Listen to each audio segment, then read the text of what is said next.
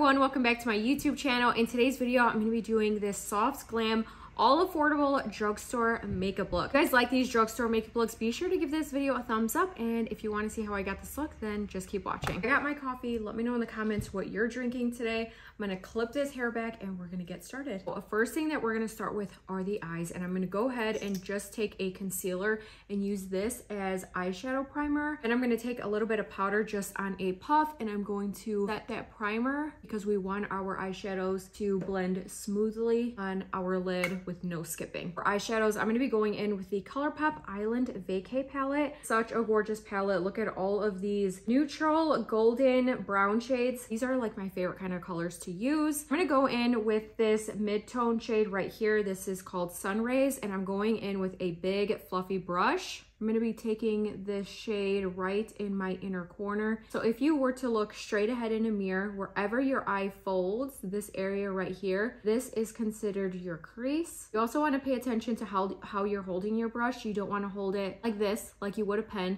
You don't want to hold it too far back. So hold it right there in the middle, light pressure. You don't have to scrub or blend too hard. It's very light pressure, slowly building up that color. I also like to elongate my eye. So I like to blend this color out like this out into like my brow bone. And then when you're doing your eyeshadow, I recommend also looking up close like when you're applying the eyeshadow, but then also taking the mirror and looking afar. That way you can see if both eyes are matching. And then if they're not, then you can kind of even them them out. I'm gonna take a smaller, this is a little bit denser, but still somewhat fluffy brush, and I'm gonna go in with this darker shade called Tropical Vibes. Focus this color right here on my outer corner, keeping it nice and tight in this area right here. I like to deposit the color first. Once I have the color deposited like that, then I'm just going to blend the edges out. That way there are no harsh lines. And then this is as about dark as I'm gonna go. And with that first brush that we use, and now I'm just going to blend the edges of all of those colors. That way everything is blended out well. We don't want any harsh lines. As Jaclyn Hill once said, when you think you're done blending, just keep blending. I, at least I'm, I'm pretty sure that was her that said that. I could be wrong.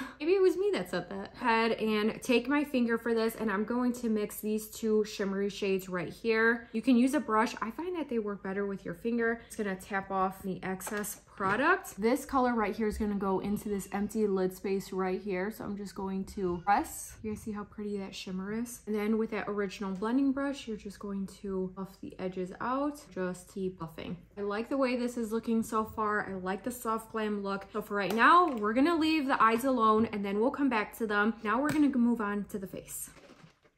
Now would be a good point that if you had a lot of eyeshadow fallout, go ahead and take a makeup wipe, a Q-tip with some makeup remover, and you could clean up the under eye. My fallout is honestly not super bad at all, so I'm just gonna leave it. For a primer, I am a huge fan of double priming. I feel like it meets both of my skin's needs, so that's what I'm gonna do. I'm going to first start off with priming using my e.l.f. Poreless Putty Primer, which I need another one because I love this stuff. This is a really great primer if you have larger pores. This is really going to help to smooth in those pores to make your skin really smooth and then the foundation and all the makeup will not settle into your pores. And on top of that, I go in with the e.l.f. Power Grip Primer with niacinamide. This is going to give my face a tacky base for the foundation to really adhere to. Also, the birds are chirping outside. The sun is finally out. It gave me seriously so happy because the weather here this week has been so gloomy and cloudy and rainy. So I'm here for this kind of weather. For foundation, I'm going to be going in with an oldie but a goodie. This is the Wet n Wild Photo Focus Matte Foundation and I am in the shade Golden Beige. This is what the applicator looks like. So you can work right off of here. I'm just going to grab it with my finger and I'm going to dot it onto my skin. I personally like to use my finger first to distribute the foundation. I see the coverage of this foundation. It's so good. And then I'm going to go in with the e.l.f. Airbrush Blender Brush and I'm going to just push this into my skin. Foundation might be a little, little too golden for me, but we'll make it work. I'm going to bring it down our neck. You can also bring it over your ears if you want to too. That way nothing looks like it doesn't match you. For bronzer, I'm using the Maybelline Instant Age Rewind. If there's a concealer that you like to use, go ahead and get it like in your shade that you like to bronze with. It's just going to add some dimension back to the skin. I'm going to use my e.l.f. Complexion Duo brush and I'm just going to press that into my skin. This is just going to add some shape back and kind of make my forehead a little bit smaller. Once this is all blended out, might look a little little harsh right now, especially here on the nose. But then we're gonna do concealer and it's gonna, everything is gonna come together. Concealer, I'm gonna use the e.l.f. Hydrating Camo Concealer. I'm gonna put some on the inner outer corner of my eyes, put some on the bridge of my nose, a little bit on my forehead, a little bit on my chin, and this is just gonna even everything out because I do want my under eyes to be a little bit brighter. So I'm gonna go in with the LA Girl Pro Conceal. This is a pink concealer, and this is just going to brighten the under eyes a little bit. I'm gonna let this concealer sit for about 30 seconds to a minute.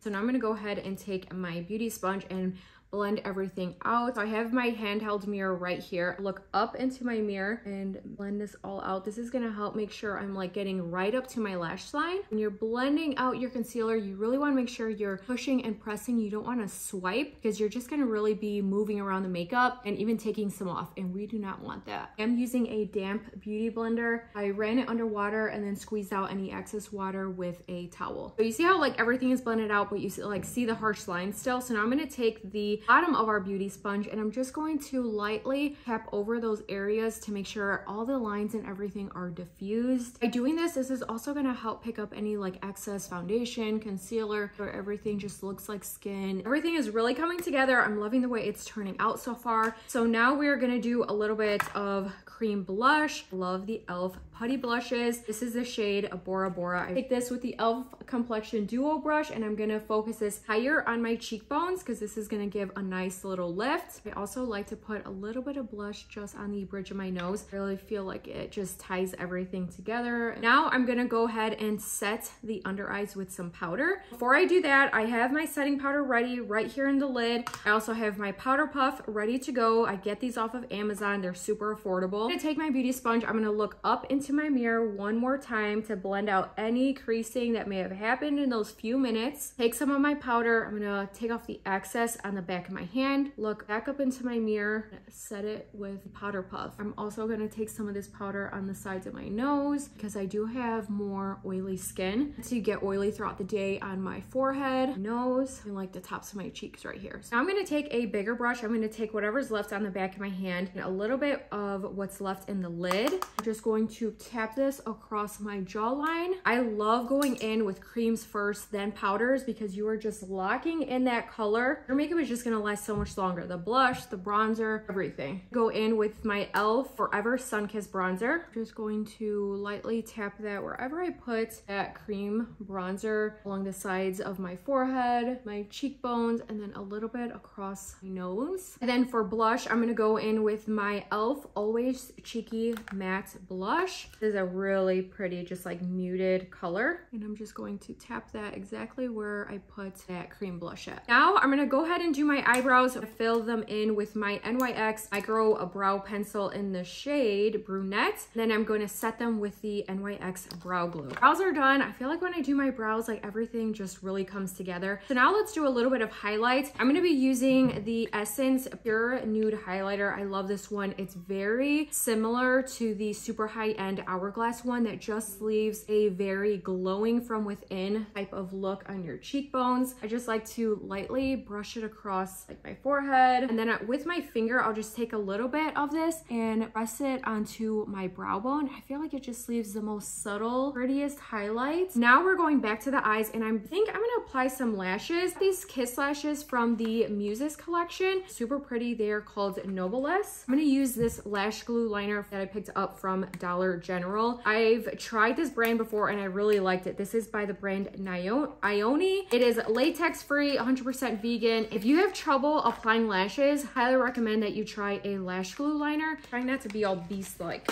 when I open this up. I'm gonna trim the edges of them a little bit. That way they fit my eye a little bit better. And then you're gonna draw your liner on like normal, right on. And they stick on literally like nothing. Okay, the lashes are on. Now I'm gonna go ahead and take this mascara from e.l.f. This is the Lash and Roll. And now I'm just going to lightly coat my lashes underneath. That way they mesh with the the false lashes. My eye. Ah, don't water. I'm gonna go back in with this mid-tone brown shade right here. run this under my lash line just to bring the whole eye look together. Finish off with some mascara on the bottom lashes. I actually think I'm gonna do a little bit of an inner corner highlight just to really make the eyes pop. So I'm gonna go in with that gold shade from the ColourPop palette. Pop that on the inner corner. Let's move on to lips. I'm gonna go in with my NYX lip liner in nude pink. Go in with the e.l.f. All Day Blue Light Setting Mist. And I actually realized I might wanna do a little bit of a glossy lip. to use one of the best affordable glosses that you can get your hands on. This is the NYX Butter Gloss in the shade Creme Brulee. I'm just gonna apply this in the center of my lips. This kind of gives it like that pouty, man, it is coming down. Whoa! It is hailing so big right now. And then I'm gonna add one more thing on the eyes. You could honestly leave the eyes like as is. I think it looks super pretty. I'm gonna actually apply this e.l.f. liquid shadow. I'm gonna take the applicator take some on my ring finger like this, a tiny bit of it, and I'm just going to lightly pat this on, and this is just gonna add a tiny bit more shimmer on the eyes and that's how the eyes are looking. I absolutely love the way this whole drugstore affordable makeup turned out and i hope this goes to show that you really do not have to break the bank to like get a flawless full glam kind of makeup look. I'll have everything listed in the description box below. Give this video a thumbs up and subscribe that way you don't miss out on any of my future videos. Thank you so much for watching and i'll see you in my next one. Bye